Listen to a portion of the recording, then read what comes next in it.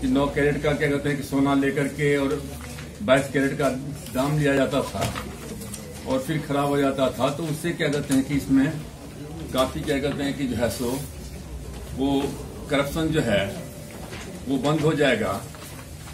और हम लोगों ने इसको जो है सो, निर्णय वही जो है बड़े बड़े सिटी में हुआ करते थे, लेकिन इसमें जो है, जो ठगे जाते थे वो गरीब लोग ज़्यादा ठगे जाते थे। इसलिए वहाँ भी रहेगा लेकिन जो है प्रायोरिटी जो है अब हम जो है वो देंगे डिस्ट्रिक्ट लेवल पर। और ये जो है अ, पूरा डिटेल में जो है हम चाहते हैं बीआईएस के साथ रजिस्टर करना पड़ेगा और उसके बाद जो भी एक साल के बाद 15 जनवरी 2021 के बाद जो भी गोल्ड की ज्वेलरी और आर्टिफैक्ट बिकेंगे वो बिना हॉलमार्क के नहीं बिक पाएँगे। और वो तीन कैरेट में ही 14, 18 और 22 कैरेट में ही बेचे जा सकेंगे।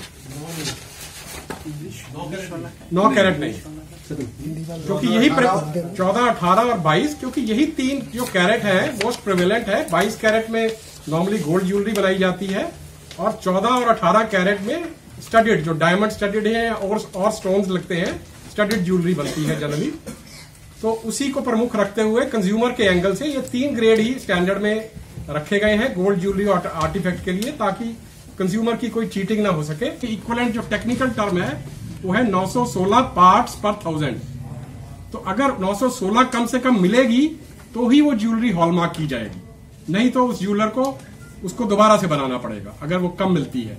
या वो ऑप्शन है उसके पास कि 22 कैरेट की जगह उसको 18 कैरेट में करा पाएगा फिर। बेसिकली चार निशान रहते हैं, जिसमें बीआईएस का मार्क रहता है, उसके बाद प्योरिटी का मार्क रहता है 22 कैरेट और 916 ये दोनों ही लिखे रहेंगे उसके ऊपर, ताकि 22 कैरेट आम कंज्यूमर को जो पता है तो 22 के लिखा रहेगा, ताकि आम आदमी उसको समझ सके। और उसके बाद दो सिंबल रहेंगे, एक सेंटर का, जिसने लगाया है, उसका भी अपना लोगो रहेगा आइडेंटिफिकेशन रहेगा, और जिस ज्वेलर ने वो हॉलमार्क कराया है, उसका भी अपना लोगो उसके ऊपर आइडेंटिफिकेशन मार्क ज्वेलरी के ऊपर रहेगा। चूज़ का कोई पाया जाता है कि ज्वेलर किसी तरह का मिस यूज़ कर रहा है या बिना सेंटर के टेस्ट कराई ही बेच रहा है तो उसके ऊपर भी ये पैनल प्रोविज़न एप्लीकेबल है। उन सारी चीज़ों के बावजूद भी हमने दिया है कि सरकार में जैसे अभी तक जो एडिबल ऑयल पर जो है आपका एडिबल ऑयल का है ना वो मतलब पाम ऑयल के दाम थोड़ा सा पीछे करवाना हाँ। कैमरा तो उसका मान जो अंतर्राष्ट्रीय स्तर पर कितना जो है पूरा है। तो लेकिन हमने कहा कि कुल मिलाकर के सरकार के नज़र में है और समय आने पर जो भी क्या कहते हैं एक्शन होता है हम लोग उसमें चूकते नहीं है एक्शन लेने में। सर प्याज के मसले पर एक ये भी है कि जो होलसेल प्राइस है और जो रिटेल प्राइस है उसमें बहुत बड़ा गैप है। यानी कि आपको अ, क्या लगता है तो हम हम जब हम जब दे रहे हैं राज को तो राज खरीदते क्यों नहीं है? सर एक हमारे हम हम तो हम हम हम हमारे पास में क्या एजेंसी है? बेचने का हमको बताइए हमारे पास में एक सफल है। एक और क्या है? ये सर केंद्रीय भंडार। हाँ केंद्रीय भंडार है और क्या हमारे पास में जब हम हर, हर हमने देखिए हमारे पास में जब आया देख रहे देख लीजिए और आया हमारे चेयर अभी कम एक जियो एम बना हुआ है, जिसके चेयरमैन होम मिनिस्टर हैं। हमने होम मिनिस्टर से भी कहा कि कह के ये पोजीशन है, प्याज क्या कहते हैं, खराब प्याज का ज़्यादा लाइफ नहीं होता है। उन्होंने आप अपने से कहा कि हम बात करते हैं, बात भी उन्होंने किया होगा, लेकिन उसके बावजूद भी कहीं से कोई रिस्पॉन्स नहीं आ रहा है। तो हमारे पास तो दूसरा चारा क्या है? ये डिमांड बीजेपी और स्टेट से भी नहीं आई अब देखिए स्टेट सरकार सरकार है अब बीजेपी स्टेट और यूपी स्टेट की हम बात नहीं कर रहे हैं। हम हम सबकी बात करते हैं। वो मालवेशिया से पाम ऑयल की भी पाबंदी लगा दी है डीजीएफ की। हैं? मालवेशिया से जो पा- क्या कहते हैं? तो मलेशिया से जो पाम ऑयल आता है। वो जो तेल उसको भी उसको भी डीजेपी लगा दी सही किया सर। ज़रूरी है वो सर ये कहते हैं कि हमारे देश में ही जो है वो रिफाइनिंग कैपेसिटी पर्याप्त है। तो क्रूड ऑयल आएगा हम क्रूड का जो है वो करेंगे। सरकार की जो नई नीति है नई नीति में क्रूड एक मिनट सरकार की नीति जो है उसमें क्रूड ऑयल को ही प्राथमिकता देने का है। कि रिफाइंड ऑयल को इसलिए भी दाम थोड़ा बढ़ा है जो रिफाइंड ऑयल क्या कहते हैं जो मांग- आ रहा था उसमें क्या कहते हैं कि जो लगता है ड्यूटी वगैरह लगता है उसमें हम पूरा डिटेल में अभी हम नहीं कहेंगे कि कहिएगा तो अलग से हम प्रेस कॉन्फ्रेंस कर देंगे है ना? पूरा डिटेल में लेकर के अभी अंडर प्रोसेस है। मंत्री जी ये छत्तीस हज़ार टन प्याज जो पड़ा हुआ है आपने कहा दो हज़ार टन खरीद हुई है तो किन किन राज्यों ने खरीदा है? तो बचा हुआ प्याज क्या बांग्लादेश को जो है एक्सपोर्ट करेंगे?